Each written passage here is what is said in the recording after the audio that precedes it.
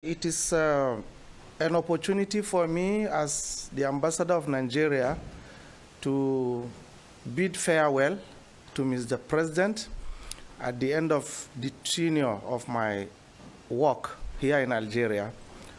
And uh, I uh, met Mr. President and we review the relations between Algeria and Nigeria, which has been very strong right from the independence of the two countries, we try to look at some of the projects that are very important between the two countries, which were, um, uh, started since the 1970s and they are ongoing.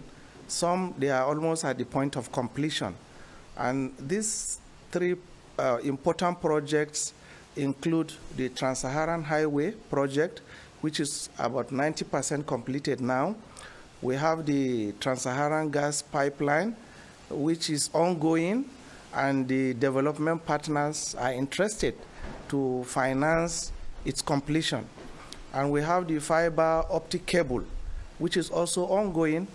Uh, the Minister of Communication from Nigeria will be in Algeria in July to continue the process of the meeting towards realization of these projects, which are very important, between, not only between the two countries, but also the countries the, where these uh, projects pass through, like Niger and Mali.